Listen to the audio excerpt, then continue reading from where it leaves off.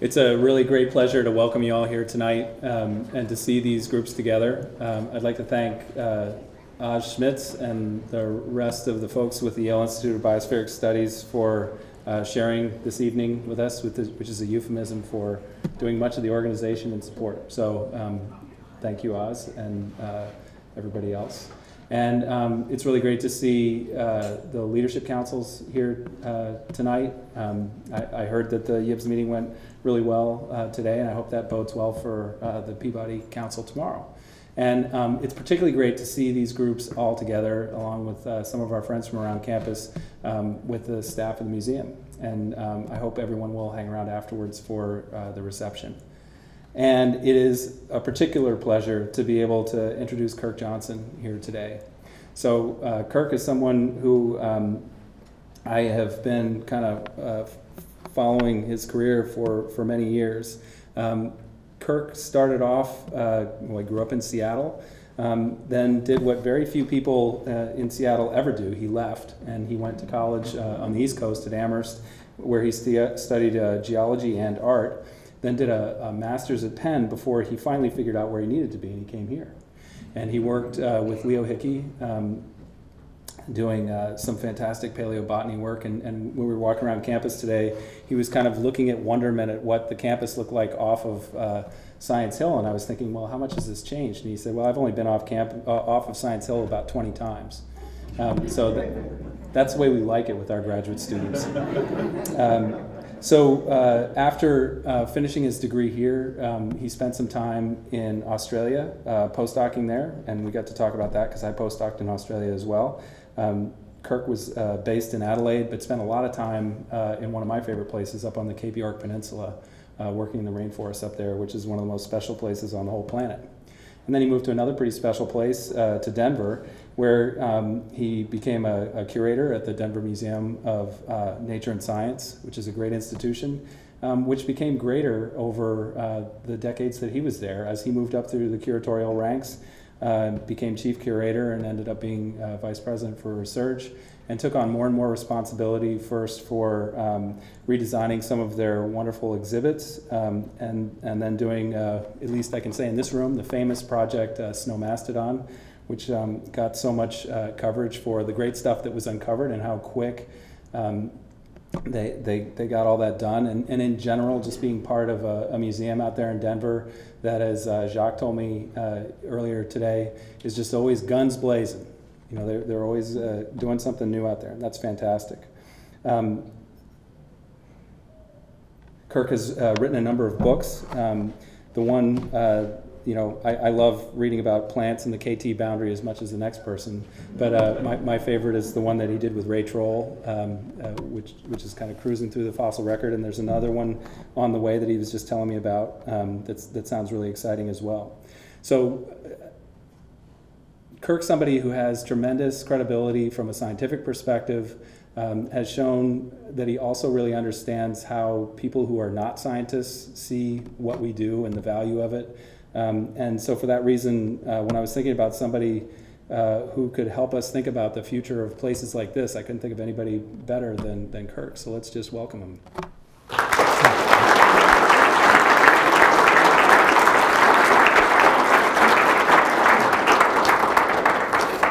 Thank you, David. That was a great introduction, and it's great to see so many familiar faces in the audience. It's uh, it's like going back in time, a quarter of a century, and everyone is here. It's really cool. Uh, I want to talk to you today about the Natural History Museum industry. And most people don't call it an industry because they sort of think of a Natural History Museum here and one there. And it's a very curious industry because it's uh, an old industry. There's not many, many kinds of things that were invented in the 18th and 19th century that are still in play today. But somehow, natural history museums, which are markedly 19th century inventions tied to the simultaneous exploration of the world and the urbanization of its populations, um, largely growing out of Europe and, and eventually in North America. You can see that the big, a lot of the big museums of the world arc through the 19th century.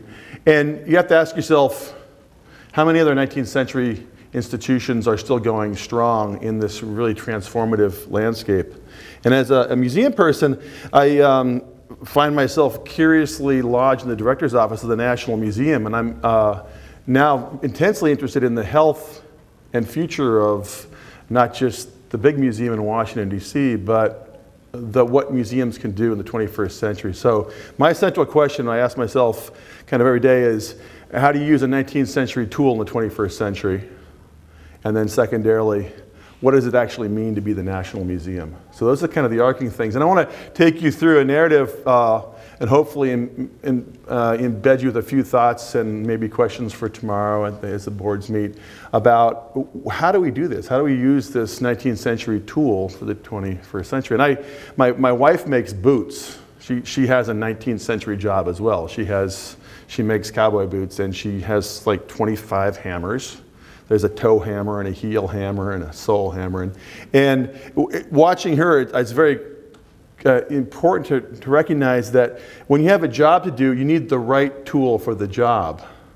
So that, you think about that. You don't cut something with a screwdriver and you don't, you know, you don't uh, use a pair of pliers to take a bottle cap off the top. So there's this dual thing, like we have this tool, this 19th century tool, the museum, and we have a bunch of challenges in the 21st century and that's our, that's our challenge. How do we take this very specific tool and use it for our new and evolving and very rapid challenges? It's a big question for us. Uh, one of my heroes is this guy who you may or may not ever heard of. This is George Brown Goode. He was the first director of the National Museum in Washington, D.C. And he was uh, active um, as, you know, he, he, was a young man when he died. He died at the age of 46. He was a director of the museum for 15 years. He came on board to help organize the um, Centennial Exposition in Philadelphia in 1876. And he, so he sort of got his teeth at the end of the 19th century after it had been a, a, a, more or less a century of museums that were really collections of objects in service of research. And he was what they were, one of the uh, many people they called the new museum men. He had a new idea. And his idea was really that it's not just research and objects, it's actually the audience too. You have to build things for the audience. So he led a movement to start recasting museums as places where the public got to spend time with these objects that the scientists were getting insights from. And so he framed this thing Natural History Museum should advance three parallel missions specimen preservation, the collections, scientific research, the new knowledge, and public education was a new concept. And it, it, this was kind of what levered all these museums into place around the 1890s and early 1900s was this concept that museums are this curious place where people and really cool objects and scholarship could commingle. And in many ways, he's dead right today. I mean, these three elements, the three legs of the stool.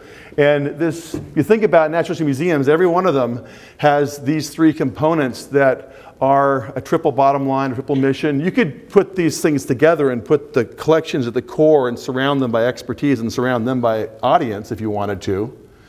Uh, but I always look at a museum and go, how healthy are all three of these things? Is the science strong and robust? Is it doing good work? Are the collections in great shape? Are we having an active collecting program? Are they well curated? Are they being well used? And is the audience actually getting something out of it that really thrills them and inspires them and makes them, enlightens them?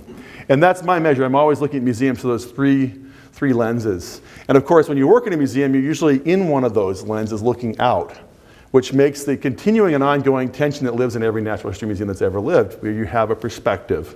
And having started out as a tiny child uh, hanging out in museums and then sort of slowly moving my way through the entire spiral of museums and looking back down on it from this weird position I have at the Natural History Museum, I, I still hang on this, this issue and really just valued objects, new knowledge, and communication.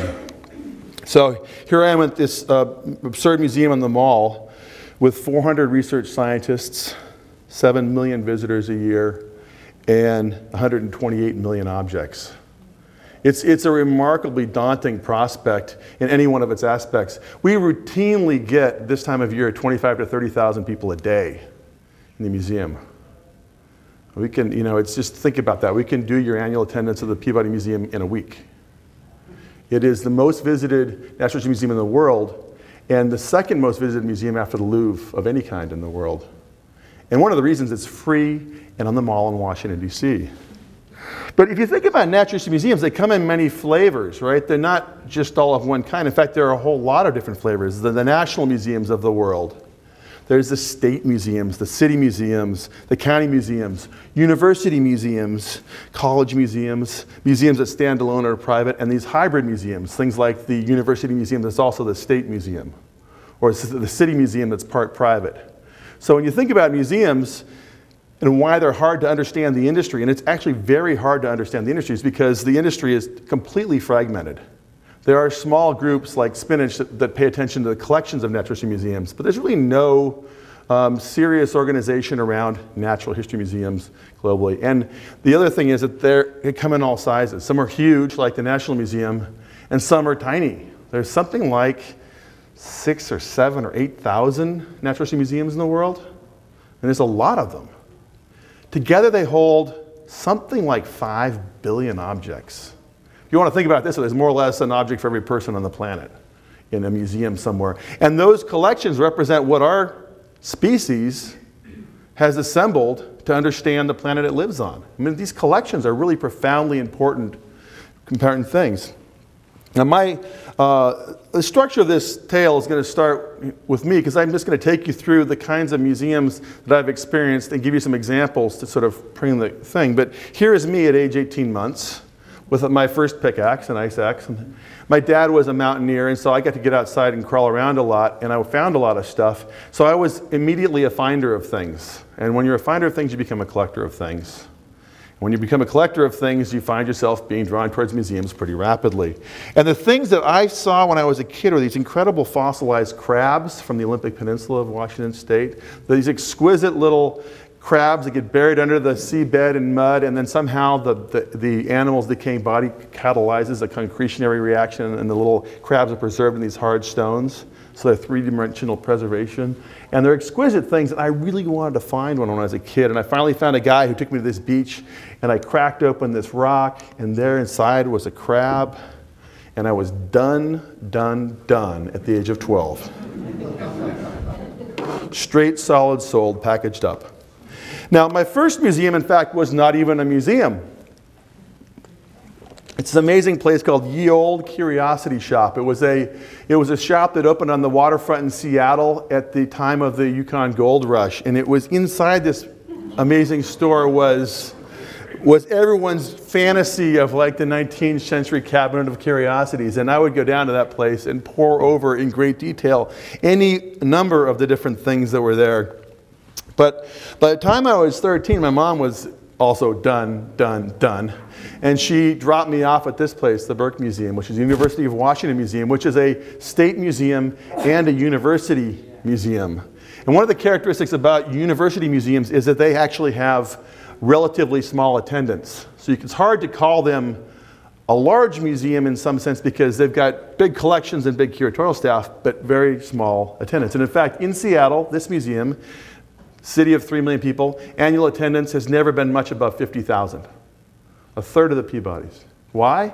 It's on a campus. People don't feel comfortable entering a campus.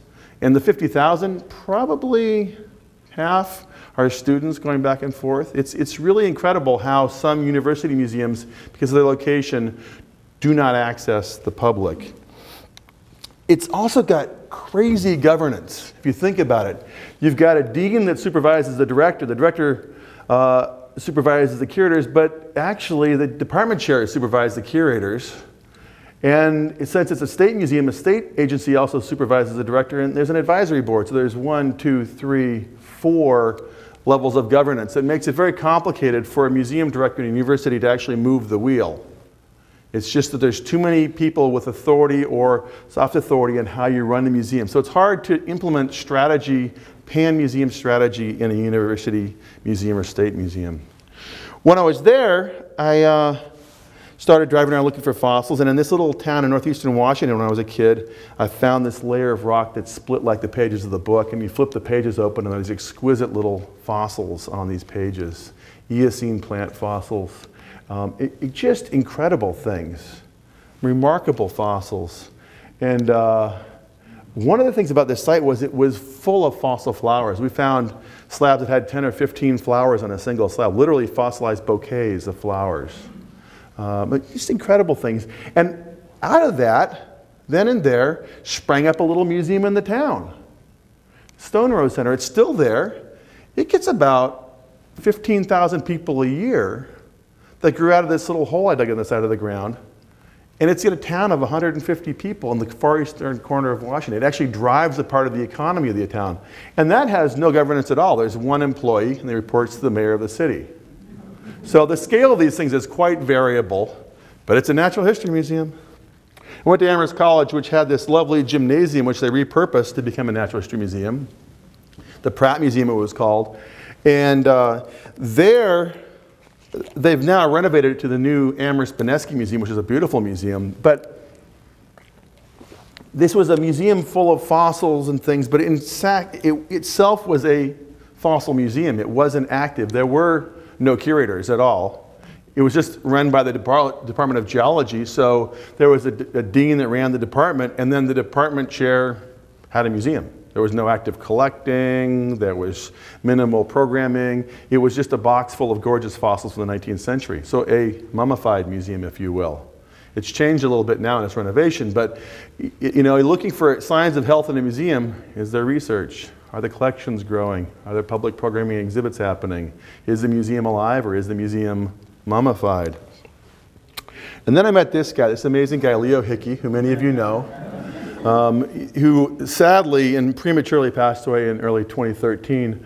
Uh, but an amazing guy. He was at the Smithsonian when I first met him, and then he moved here to Yale. And uh, he took me to the Arctic and blew my mind in 1984. We went to this incredible place. And this is a photograph that Leo took, which is still one of my most favorite photographs. It's a picture of the Central Ellesmere ice cap, and you can see a 300 foot high waterfall right there. So you're seeing one of these big ice caps that would have been like what it was here in Connecticut 18,000 years ago. But by going back in time, or going north, you can go back in time. And uh, Leo was like this really amazing explorer, scholar, and we, we trekked to these places. This is Axel Heiberg Island, which is the size of, of Ireland and uninhabited, looking for fossils. And there were amazing fossils there at latitude 82 north, these giant coal seams full of standing tree trunks and petrified forests.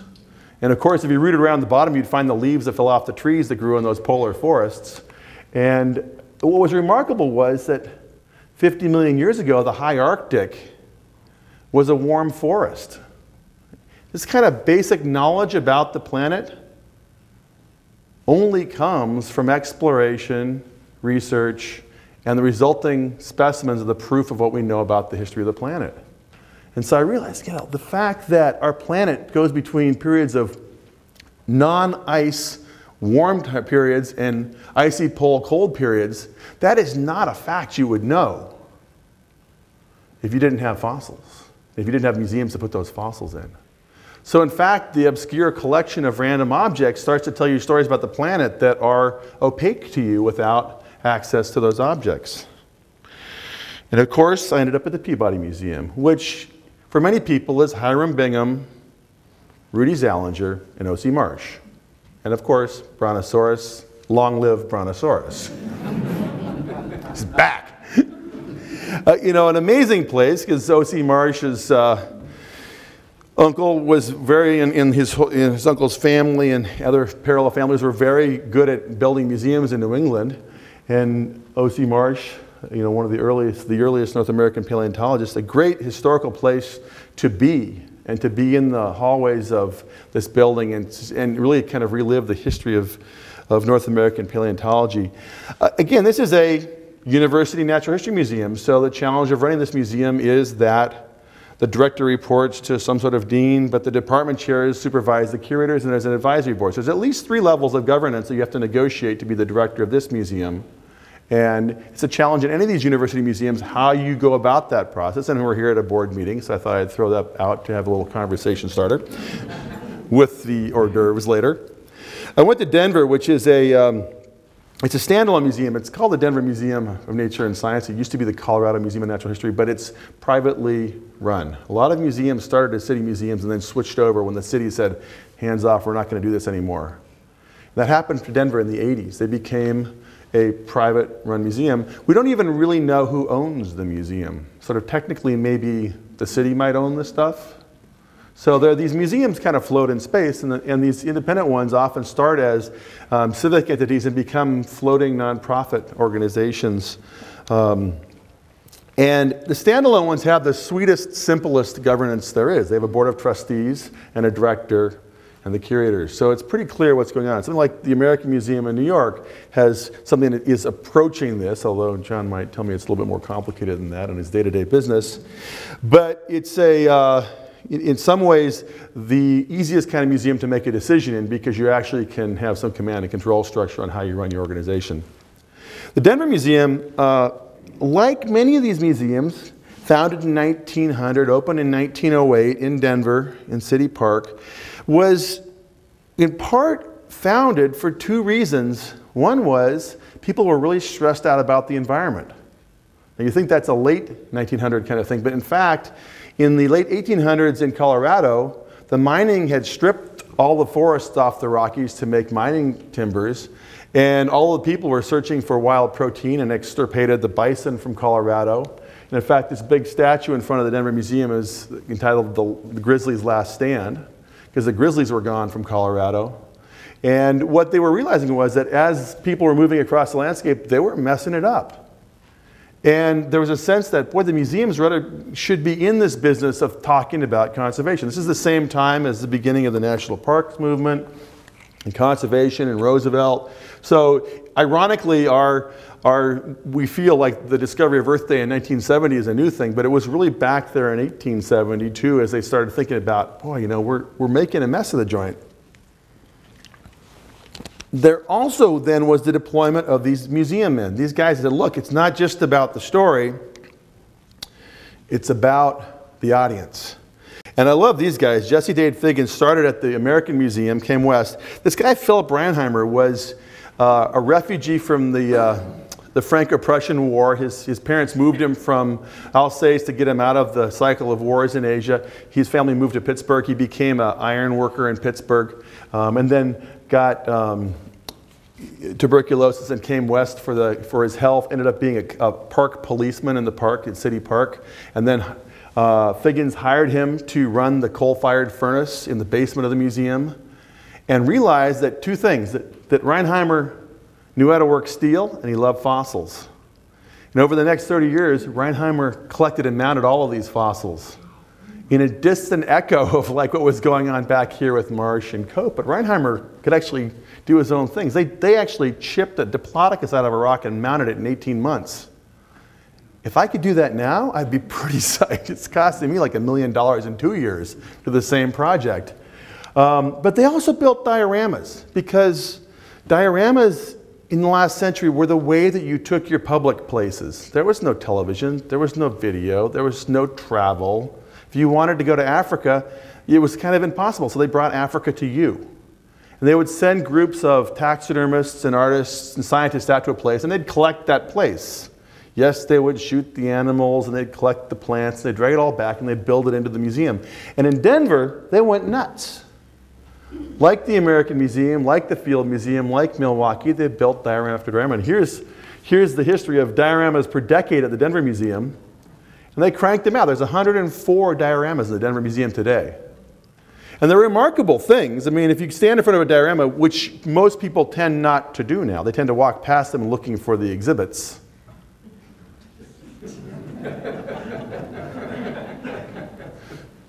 if you do look at them, and it took me years being in a museum to realize that dioramas were actual places. And the day I realized it, I said, let's go find that actual place.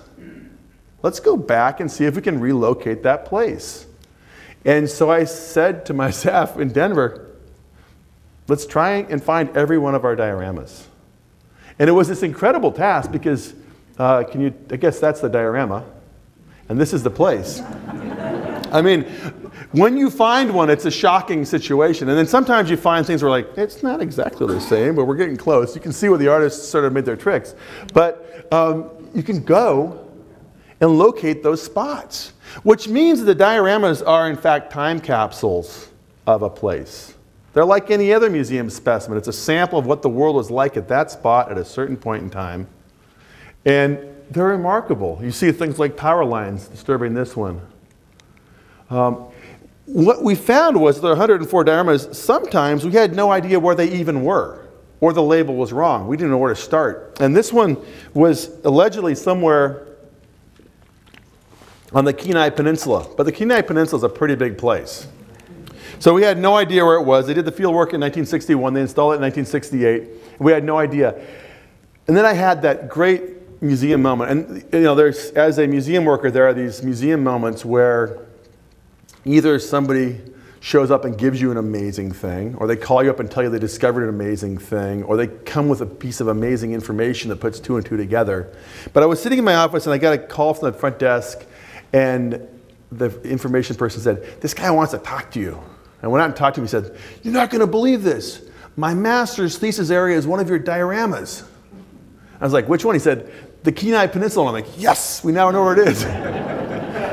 so if you look at this diorama, there's this little lake down in here. And there's the guy at that lake. Ah. So we knew exactly where it was. And the amazing thing was that that field was done in 1961. If you go to that spot now, the glacier is 400 feet lower than it was in 1961.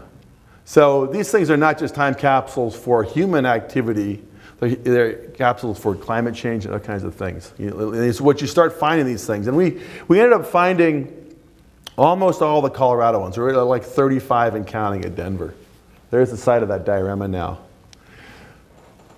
One thing that became abundantly clear to me working at Denver is that for all the energy we put into building exhibits and doing programs, we're still very, very, very much the early stages of understanding how museums impact people. we know that they do. You'll talk to people that say, like, you know, I was I had this experience when I went to a museum when I was a kid and I became a nuclear physicist. There's lots of examples when you talk to scientists that they'll refer to one of five or six different reasons which drove them into the field of science, and one of them is a museum experience. We know that there's this long fuse of the museum experience where kids walk in and then something happens to them, and then 30 years later they're doing something in the sciences. But you know, from the point of view of uh, building an effective program, it's hard to, to reverse engineer that. And what did you do that made that kid become a scientist? It's hard to build a program that will do that, except kind of doing what we do, which is sort of an inefficient way of thinking about it. And if you look at this group of people, just cast your eyes across a group of people and you'll see that there's all sorts of things. There's a grandmother and a grandchild. There's a mother with a young baby. There's a, you know, a father with a daughter, maybe a daughter's friend. There's maybe a, a guy by himself. There's a mother and maybe a daughter. Multi-generational families, all sorts of ages, all sorts of different capacities to learn and take in information. And tons of them. They're just pouring in. Because it's a fun, social, interesting place. It's, that's what a museum is for people. It's a fun, social, interesting place. Meanwhile, behind that wall, there's some scientist toiling away on his lifetime monograph on dung beetle penises. and an amazing collection of dung beetles. So, how do those things actually fit together is really kind of the central question of natural history museums. But increasingly, in a world where everything is changing so fast, and where the relevance of museums is so tied directly to their their uh, ability to function, attention towards the audience needs to be more and more really, really understood. And different museums have different audiences. You have a very different audience here than we have in Washington, D.C., than we did in Denver. In Washington, D.C., five out of six people that walk into the building are tourists from the United States. One out of, so five out of seven are tourists from the United States. One out of seven is from overseas. One out of seven is from the Washington, D.C. area mainly a tourist museum. In New York, a surprisingly large number of international visitors. It's like more than half of the visitors the American Museum are international. What's the difference between Washington and New York? I mean, and on and on. Every museum has got a different visitor profile. And if you don't understand your visitor profile, you have hardly any way of understanding what you want to achieve with your visitors. Other than, you know, if you're giving them a nice, happy social time. But if you want to actually impart messages or communicate, it's really important to know who your visitors are and what they value and how they learn. Now, I had this great experience in, in Colorado that, that really drove home to me the impact of museums in a way that I could never have predicted because my whole experience in museums and my whole life was that they're diverse places. The collection managers are over here, and the curators are over here, and the volunteer people over there, and the programming people over there, and the fundraisers are over there, and the directors over there, the boards there. They're all kind of doing their own thing. They weren't, they're not really playing team ball. They're kind of focused, and sometimes they're fighting. They're like disagreeing about where they should spend the dollars. But this particular example is the only time I've ever seen a big museum completely act like a team and focus on one thing for a short period of time. And it was awesome when that happened. It was so awesome. And what happened was that in Snowmass, Colorado, the ski area Snowmass, there's a Snowmass village, there's a little lake right here, which is a very curious lake because it's on top of a ridge. And in a general geomorphological sense, you typically don't get lakes on tops of hills. They're usually at the bottoms of hills, right? It's a general rule. But at this particular spot, there's a lake on top of a hill. No one really thought much about it, but the city of Snowmass bought the lake and started scooping out dirt to make a little reservoir to put water in so they could make snow at the beginning of the winter. And the first bulldozer blade to the bottom of the lake turned up a curious sight. Mammoth and mastodon bones both. Mammoths and mastodons both. Kind of unusual because you usually find mammoths in old grasslands and mastodons in old forests, but you know, and I got the call. The guy and said, hey, we, we hit something that is definitely not a cow. so I zoomed up there, and it was one little beautiful baby mastodon, or mammoth, sorry. And while I was there looking at it, the bulldozer drove by and pronged up a four foot femur down in the hole. I'm like, this is amazing. So I was in my talk to lawyer clothes, not my dig fossil clothes. And I rushed down there and just started digging with my hands. And I was pulling out ivory tusks and leg bones and things. So we, we assessed it very quickly. And at Denver, we had all the pieces of a functional museum. We had great collections care and conservation and registrars and collection managers and the ability to handle things at a fossil prep lab. We had scientists. We had a public programming staff. We had fundraisers, all kind of there, ready to be deployed. And we had hundreds of volunteers who had been training to become citizen scientists. So within a, two days, we had 40 people in the hole. And soon I arrived with an army a shovel army. And we cut a deal with the, with the owners of the reservoir because legally it was a little bit obscure if the state engineer had more power than the state archaeologist. And we could have gone on the path of fighting them, and we might well have lost. And we said, look, there's got to be a win win in this space somehow. And we negotiated this deal where they gave us 70 days to dig out the pit. And we figured, you know, you could dig anything you want, even enough people, enough shovels. And we attacked the pit with incredible vigor. It was like building a dam in China in 1950, just like everybody's got a shovel and just going like mad. And we found incredible things. incredible things. In 70 days, we got 6,000 bones parts of 50 mastodons, a dozen mammoths, giant ground sloths, giant bison, uh, something like 70 ivory tusks, full-size tusks, um, and just miraculous fossils. This bison latifrons skull is almost seven feet wide from broken horn tip to broken horn tip. Just amazing things. And what was so cool was at the same time we were digging it, we didn't have any money to do it, but our fundraisers kicked into gear. We started raising the funds. Our educators started building giant puppets. We built a miniature museum in Snowmass Village in 26 days and opened a museum on site. We had a school program that went to every single class in the Roaring Fork Valley and saw 50,000 kids while the dig was going on. We were able to broadcast live from the site at winter at 9,000 feet to classrooms all around the country on two-way um, two-way broadcast. I could stand on that site and I could talk to 10 classrooms simultaneously and they could see me in the snow and watch my guys lift husks out of the ground and I could hear like 10,000 kids gasping. it was awesome. 70 days. 70 days we moved 7,000 tons of dirt by hand.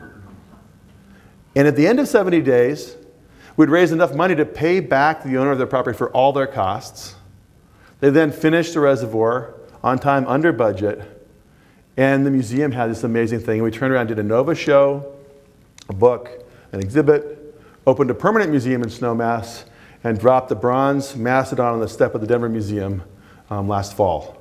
Four years from basically this year to now. And it's what you could do if the whole museum is just like, this is a good idea. Let's all do this one thing.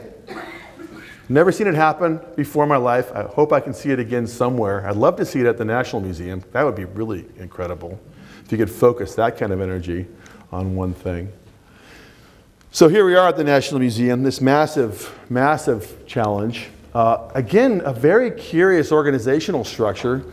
Uh, it turns out that as the director reported up to the secretary of the Smithsonian, who himself reports the Chief Justice of the Supreme Court in a very curious bit of American history. And John Roberts shows up to the meetings, runs them, and scares the crap out of everybody. it's like the Chief Justice of the Supreme Court is running the museum meeting.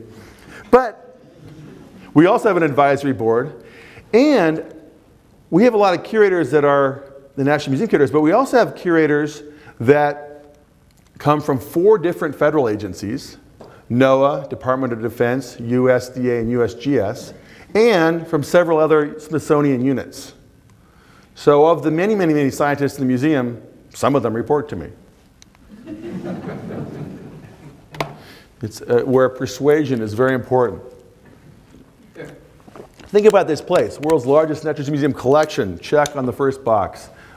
Largest base museum staff, check on the second box.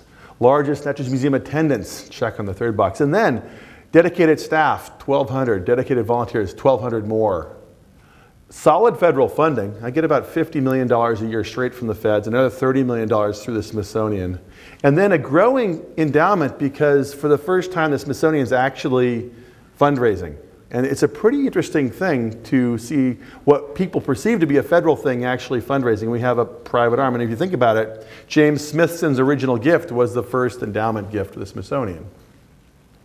Um, the central location on the Washington Mall is not to be minimized. That's probably the single most important informal science education piece of real estate in the planet, if you think about it. It's in the, you know, right in the middle of the government of the world's most powerful nation.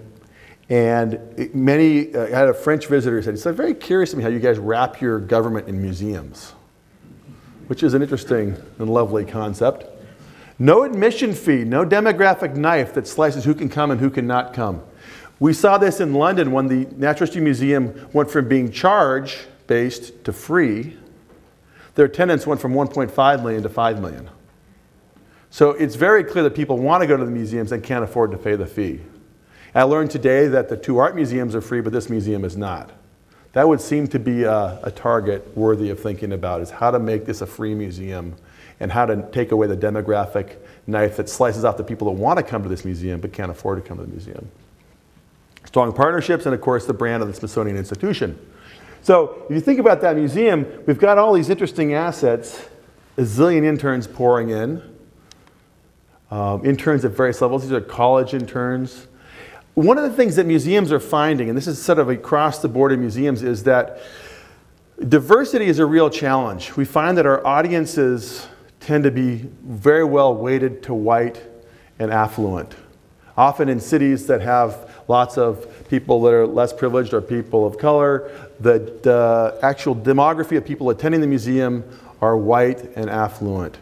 And it's hard for people to attend those museums because A, they have to pay to get in, or maybe they're on college campuses, or maybe when they go there, they don't see anybody that looks like them at all. So one of the, the simplest ways to solve that that has been found at several museums around the country is just hire local kids for the summer. Pay them 2000 bucks instead of having them go work at McDonald's, they work at the museum.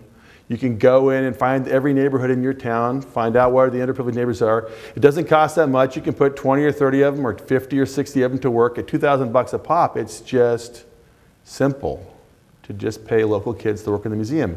Because when you do that, then their families come, their friends come, they feel like they're part of the museum community. The museum, with paying a bunch of kids from the local neighborhoods to work in the museum, suddenly you've got a connection to the local neighborhood and the local people. It's just dead simple. And it's very cheap, it turns out. It's one of those aha moments in the museum world where it's like, oh, that's what we do. And if you start thinking about it, then these kids get to know scientists. They get to be proud of the museum. They get to be articulate. It gets them into college. They come back as an intern. They do a good job there. So they get a research project, gets them into grad school.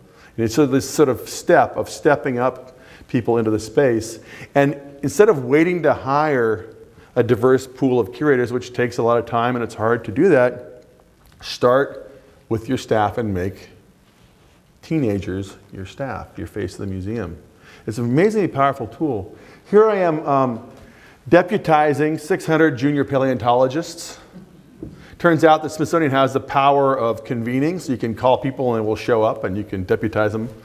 And, and uh, this is, there's a little story here. This is Matt Carrano. He's the curator of Dinosauria at the National Museum.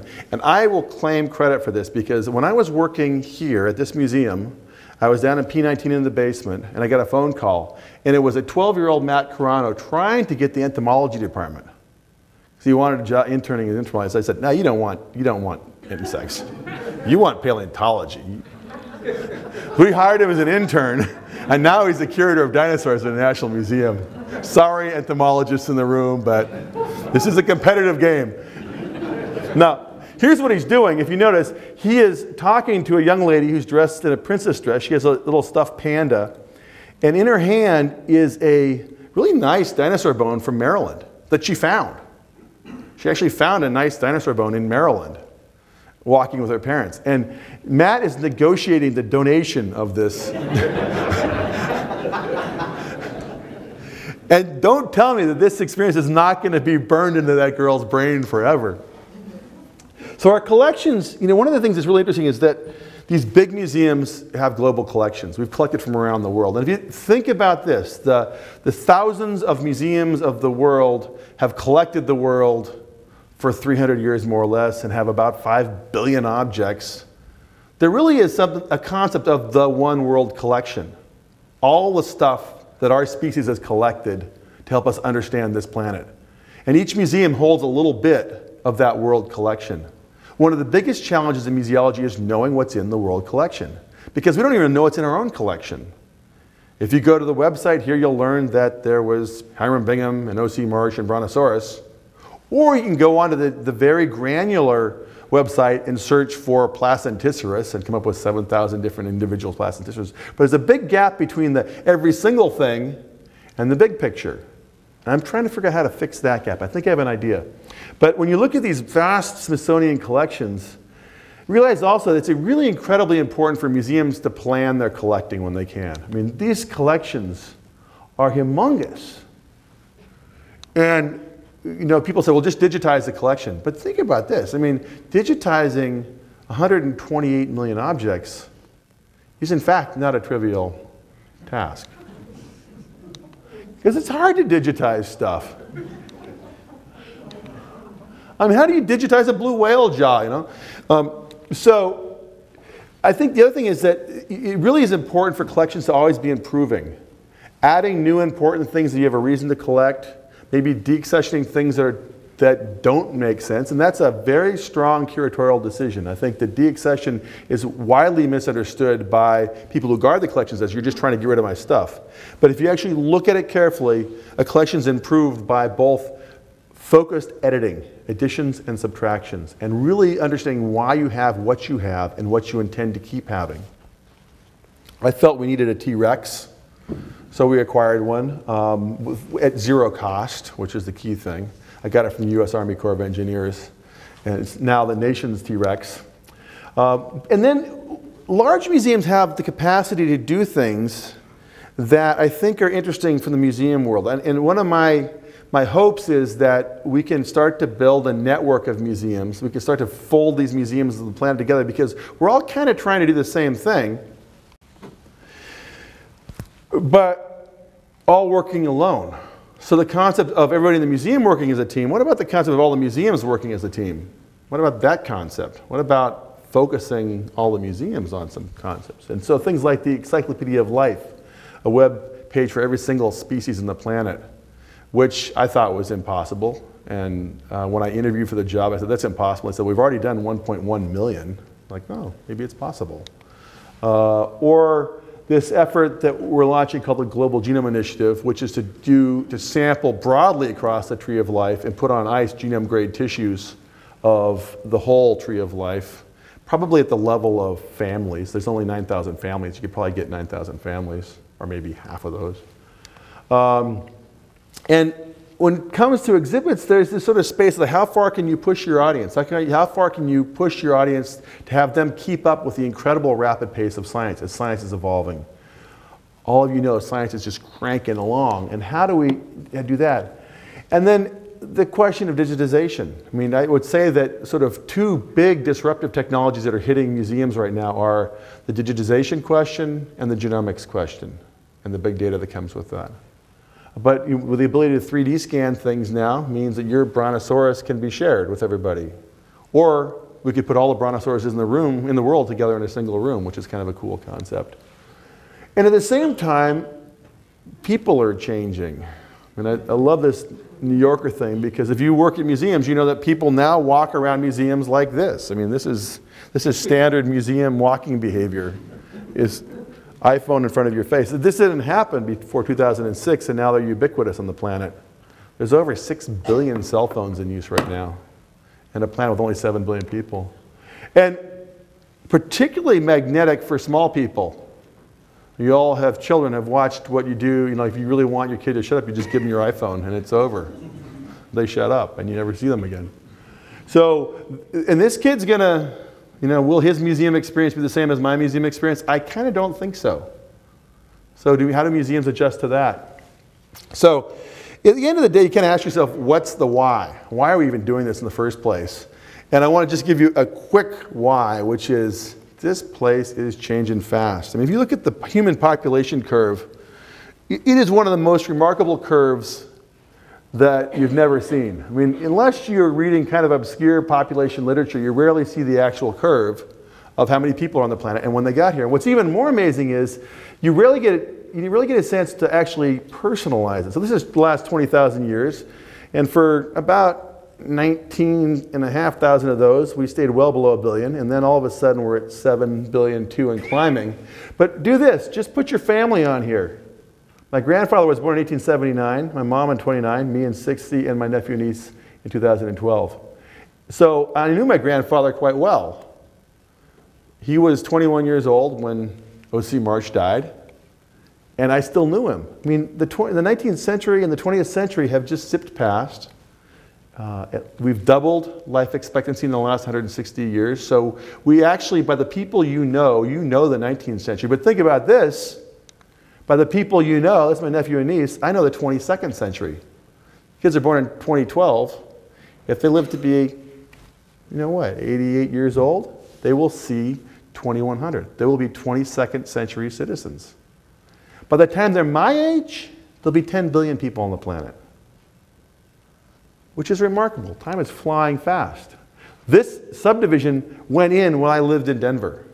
It wasn't there when I got there, it was there when I left.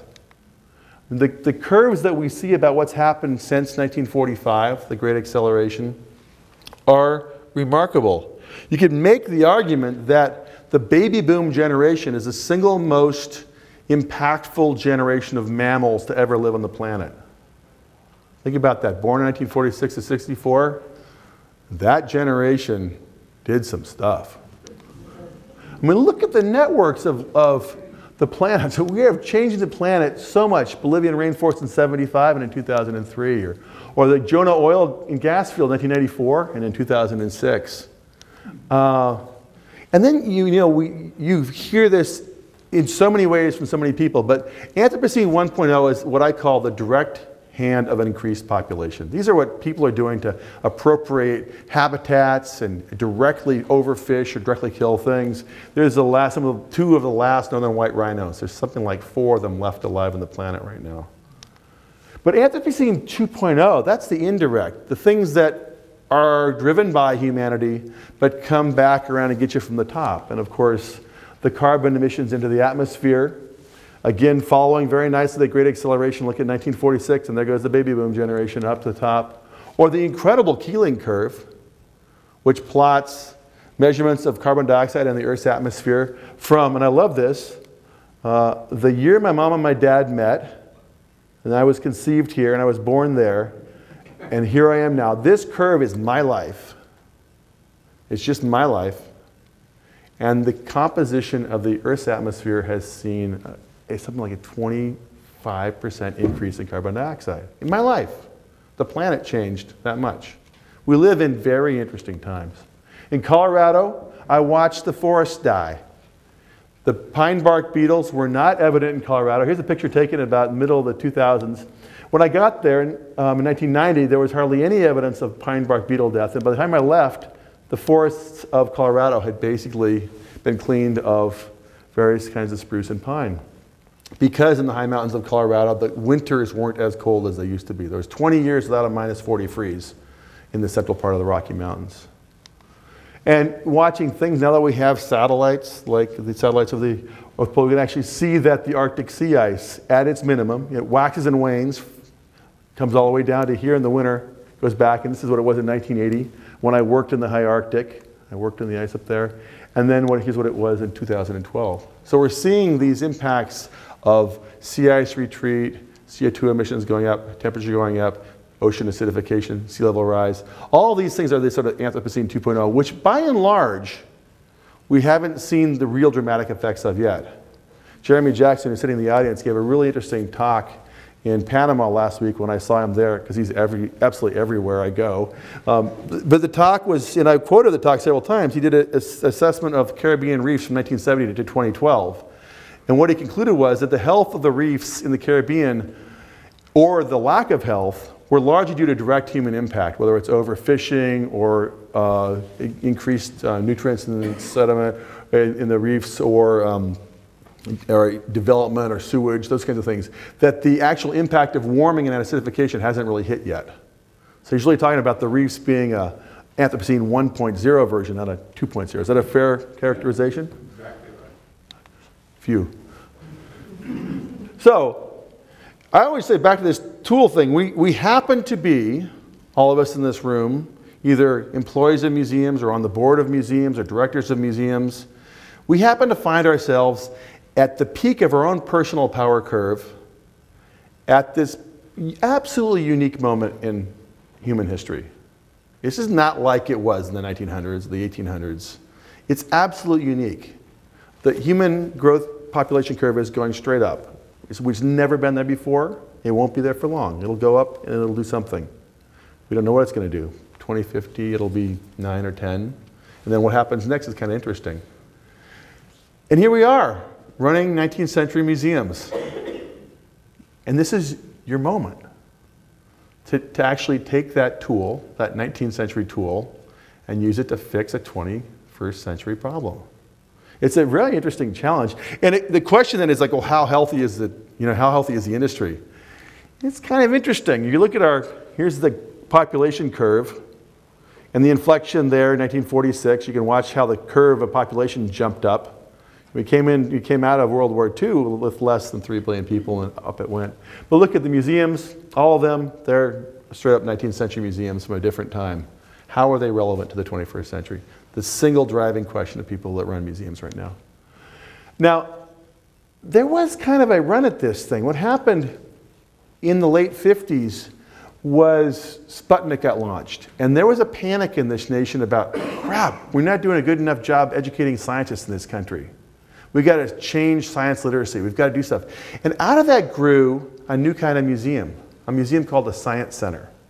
And you can see that the, the real leaders in this field were Bradford Washburn, who took what was an old natural history museum in New England and turned it into the Boston Science Museum. And Frank Oppenheimer, who built this very innovative exploratorium in 1969 in, in San Francisco Bay. And all these other science centers popping up really in the time of the early baby boomers in response to a desire for more science literacy. And what is a science center if not a natural history museum stripped of its collections and its research? Scientists don't work at science centers. It's all about science education. They focus 100% on the audience, not 30% audience, 30% collections, 30% research, which means they're not actually paying for research and collections, which means that they're more nimble financially than natural history museums. Now, these are great organizations. They do fabulous work. But one of the patterns that's kind of interesting, I mean, and they do things like this. They, they have many ways of directly impacting the audience that delights the audience. They're very good at knowing what the audience wants. So one of the arguments for natural history museums is pay attention to science centers because they actually know their audience in a way that we don't. It's a straight up thing because they don't have anything else. They don't have collections research. They just have audience and they, they're tuned to their audience. One of the bad ramifications is this. I think they're driving natural history museums out of business. And one of the ways I've been tracking this thing is counting curator counts at museums. And this is just the three big museums in North America. The National Museum down at 80 from a high of 120. American History, National Museum in New York, incredibly flat at sort of the 41, 42 number for a long time. And then the Field Museum with some interesting dips and now at an all-time low at 22 curators.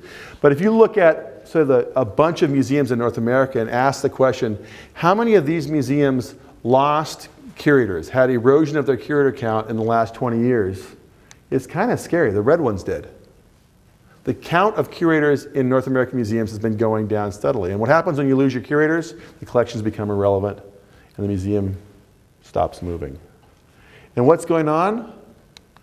These museums are all in cities with very successful science centers. They're competing head to head for the audience. And what drives the business model of natural history museums? People are paying for the gate. People don't come, you don't have any money. And at the end of the day, there is this very interesting straight up business competition model where natural history museums are losing at the expense of science centers. And again, I'm not against science centers. I think they should both be playing team ball on this thing, but there's a very interesting pattern emerging here. And what's happening is that a lot of natural history museums are changing the name to Museums of Nature and Science to try and grab that name in the marketplace. That happened in Denver. Denver did a successful fending off of a new science center. And you'll see that during that period of time, Denver's number of curators grew, it doubled, because it was able to fend off a science center coming into the marketplace. So uh, I've never given this talk at the American Association of Science and Technology Centers because it would be perceived as a very hostile talk, I think. it's merely a pattern. I mean, I'm just looking at why is it that we're not competing well for the same exact audience. So that, in, in a, a wrap of this concept, I, I started thinking, how do you actually make progress in this space? And one of the things I realized was there, there are actually not that many very large museums in the world. And if I, like, let's just say this, a, lar- very large museum, let's define it as saying it's got more than 20 scientific curators, it's got more than a million specimens, and it's got more than a million visitors annually. It turns out that there's only about 10 of that size in the world, which is pretty amazing, right? Um, only 10. Of the 7,000 museums, there's only 10 that you could describe as very large. So I started thinking, that's interesting because they're very large. They have a lot, they have a lion's share of the collections.